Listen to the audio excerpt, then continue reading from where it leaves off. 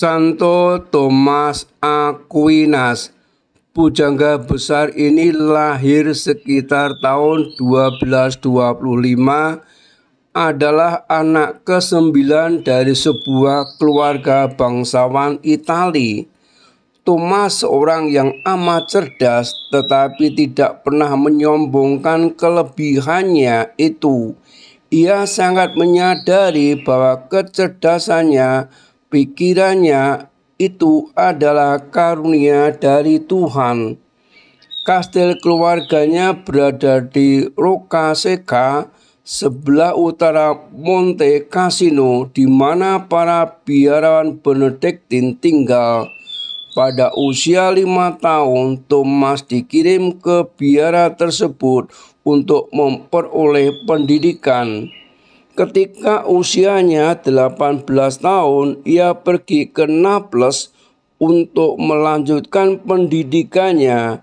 Di sana ia bertemu dengan suatu kelompok religius yang disebut sebagai Ordo para pengkhotbah. Pendiri mereka, Santo Dominikus, masih hidup kala itu. Thomas tahu bahwa ia ingin menjadi seorang imam ia merasa bahwa dipanggil untuk bergabung dengan kelompok tersebut yang kelak lebih dikenal dengan sebutan Dominikan. Namun keinginan Thomas ini tidak berkenan di hati kedua orang tuanya. Ketika ia sedang dalam perjalanan ke Paris untuk belajar, saudara-saudaranya menculiknya mereka mengurungnya di salah satu kastil keluarga mereka selama lebih dari satu tahun. Selama itu mereka melakukan segala daya upaya untuk membuat Thomas mengubah pendiriannya. Seorang saudarinya juga datang untuk membujuknya agar melupakan panggilannya. Tetapi Thomas berbicara demikian indahnya tentang sukacita melayani Tuhan, sehingga saudarinya itu mengubah pendapatnya. Saudarinya itu bahkan memutuskan untuk mempersembahkan hidupnya kepada Tuhan sebagai biarawati. Selama 15 bulan lamanya, Akhirnya Thomas diberi kebebasan untuk memenuhi panggilannya. Santo Thomas menulis demikian indah tentang Tuhan sehingga orang-orang dari seluruh dunia telah mempergunakan tulisan-tulisannya selama beratus-ratus tahun. Penjelasannya tentang Tuhan dan tentang iman berasal dari cintanya yang amat mendalam kepada Tuhan. Ia seorang yang apa adanya sebab ia tidak sedang berusaha untuk membangkitkan kesan kepada siapa pun. Ia inginkan segenap hatinya adalah mempersembahkan karunia hidup kepada baginda Yesus dan kepada gereja.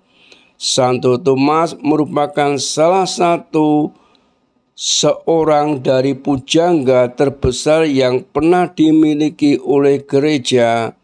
Ia bagaikan mutiara dengan sinar yang cemerlang dalam terang roh kudus.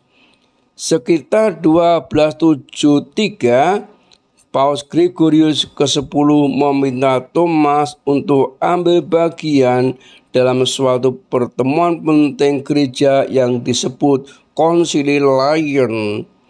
Ketika sedang dalam perjalanan ke sana, Thomas jatuh sakit. Ia harus menghentikan perjalanannya dan tinggal di sebuah biara Fossa Nova, Italia, di mana akhirnya beliau wafat tanggal 7 Maret 1274 Permata gereja ini wafat dalam usia yang baru 49 tahun. Relik disemayamkan di gereja Saint Servin Toulouse, Prancis, tanggal 22 Oktober 1974. Relik dipindahkan di Church of the Jacobins Toulouse. Thomas dinyatakan kudus pada 18 Juli 1823 oleh Paus Yohanes ke-22. Paus Pius kelima memberinya gelar pujangga gereja tahun 1567. Paus Leo ke-13 memberinya gelar Maha Guru dari segala doktor dan akademi pada 1879 dan pelindung semua universitas, perguruan tinggi dan sekolah pada tahun 1880. Perayaan 28 Januari. Salam peradaban kasih. Sugeng Pramono. Amin.